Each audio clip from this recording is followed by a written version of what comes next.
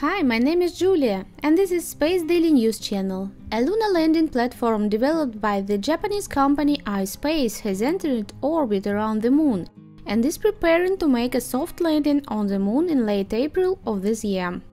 Tokyo-based iSpace said its HAKUTO-R Mission 1 lunar module entered orbit on March 20. The company did not disclose orbital parameters, but said the maneuver was successful. HAKUTO-R Mission 1 launched in December on a SpaceX Falcon 9 rocket, taking a low-energy trajectory that took it 1.4 million kilometers away from Earth before turning back toward the Moon.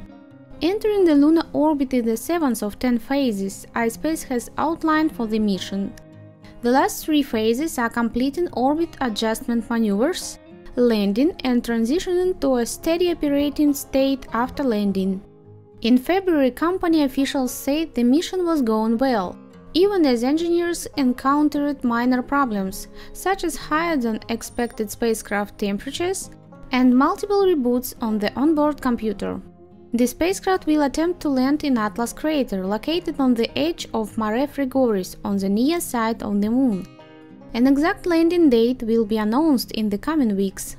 The HAKUTO-R spacecraft is about 2.3 meters high 2.6 meters wide and weighed about 1000 kilograms. It carries a set of payloads from client companies and organizations, including, for example, a small Rashid rover developed by the United Arab Emirates. iSpace is also working on a second lander, scheduled for launch in 2024.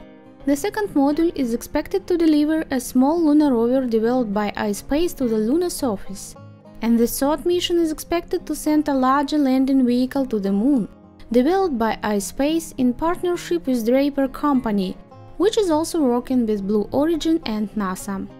A successful landing would make iSpace the first private organization to land its spacecraft on the Moon, and Japan only the fourth country in the world to reach the Moon, after the Soviet Union, the United States and China. Space Daily News.